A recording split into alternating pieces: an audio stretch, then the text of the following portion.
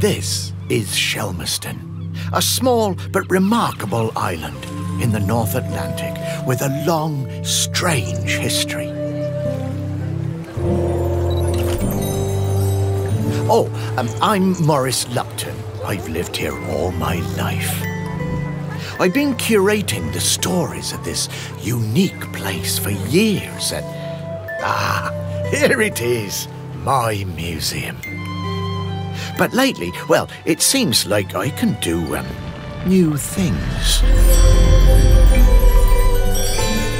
And, well, it's not a big deal, but I should mention at this point, I am dead.